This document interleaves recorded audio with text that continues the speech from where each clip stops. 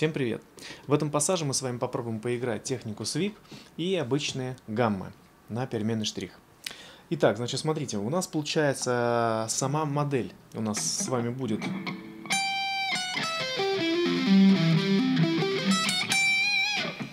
мажорная, и модель у нас еще с вами будет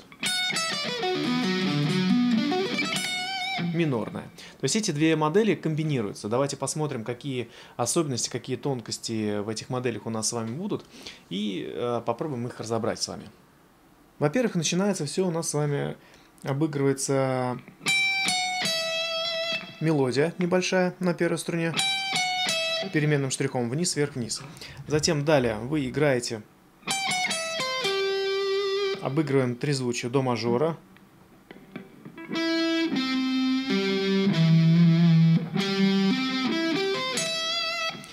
Техника свип подразумевает глушение пальцем обязательно. Либо иногда еще мы можем обращать внимание, что на грифе находятся некие заглушки. Но здесь заглушек нет, поэтому э, будем глушить с вами все пальцем. Получается у нас мы сыграли с вами гамму. Разобрали сразу же в правой руке мы глушим. Оп, то есть палец у нас служит с вами заглушкой. Как только мы с вами переходим вторым пальцем на вторую струну, то этим же самым пальцем мы с вами делаем такое движение, которое закрывает первую струну. Вот мы с вами сыграли переменный штрих, затем далее переходим на вторую струну вторым пальцем и этим же пальцем делаем заглушку для первой струны. То есть первую струну мы с вами закрываем. То есть она уже не дает нам звука. Затем далее ставим третий, третью струну, э, зажимаем. То же самое делаем первым пальцем по отношению ко второй струне. То есть э, вторая струна у нас с вами не дает никакого звука. И далее переходим на четвертую струну. Точно так же четвер... э, третий палец э, зажимает четвертую струну, не давая звучать третьей струне. Пятый палец, э, пятый, э, пятая струна мизинцем зажимаем. После чего делаем растяжку. И как только мы делаем растяжку, первый палец ставит в такое положение, в котором он прикасается к четвертой струне, что тоже не дает звучать э, призвуком. Затем переходим на шестую струну вторым пальцем, то есть тоже здесь у нас небольшая растяжка. И переходим далее, играем то же самое. Здесь мы с вами делаем именно хаммер прием. Вот мы сыграли и переходим затем по тем же самым ноткам. Вот, обращаю ваше внимание на то, когда мы с вами играем свип уже наверх к первым струнам, то э, вот это место у пальца, оно постоянно служит для вас неким таким страхующим средством. То есть вы делаете страховку для того, чтобы у вас не звучали нижние струны. Это первый способ. Второй способ. Вы постоянно делаете palm для того, чтобы заглушить то есть э, такое зву звучание. То есть если palm не делать, то получится вот что. Но в таком случае вам нужно обязательно струны заглушать тогда пальцами. То есть э, что происходит? Когда мы играем palm мы можем не обращать внимания на левую руку. В таком случае мы играем... У нас заглушка идет на правой руке. Вот. Если мы правой рукой не делаем полмен, то в таком случае и будем играть так же, то получится получится грязь. Чтобы этой грязи не было, мы эту грязь с вами убираем левой рукой. То есть что мы делаем? Смотрите. Палец я уже первый поставил так, что он у меня прикасается к шестой струне.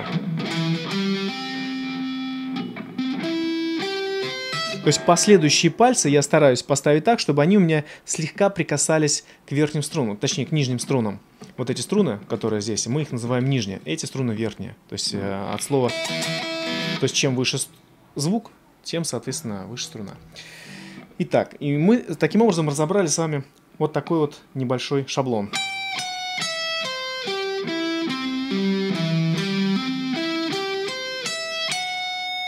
И потом, затем далее.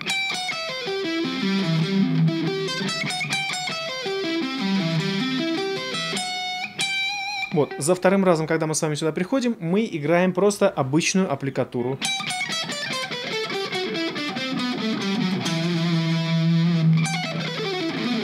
Затем после этого играем назад то же самое.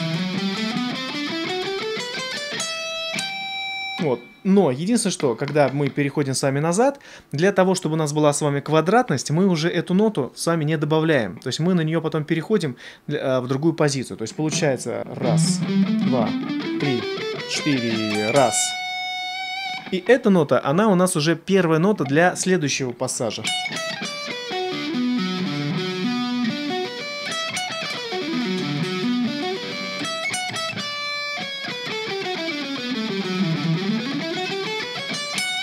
То же самое касается этой аппликатуры. Здесь у нас идет уже немножко другая с вами гамма. Вот она идет, получается.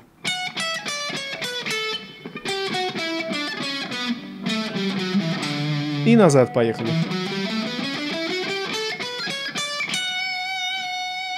Затем ля мажор обыгрываем.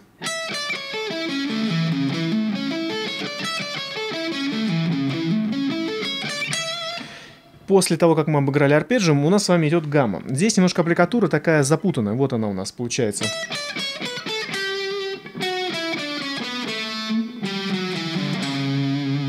И после двигаемся назад. И приходим в заключение.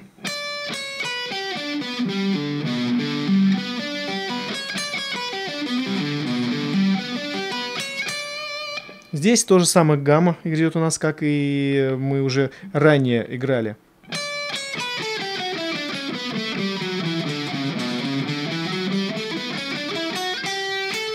Вот когда мы доиграли до второй струны, повторяем снова с этой ноты. И приходим в си. То есть получается... Ставим дальше аккорд си. Power аккорд. То есть, ну, по сути дела, си минор, но минорную терцию мы с вами не играем, просто играем квинту. Таким образом, у нас с вами получился вот такой небольшой гитарный ход, который вы сможете употребить где-то в своих проигрышах, э, вставить в аранжировку или же просто отработать этот технический прием. То есть очень интересно играть э, сочетание арпеджио с гаммой. То есть попробуйте, я думаю, что вам понравится, и этот урок пойдет вам на пользу. Пока.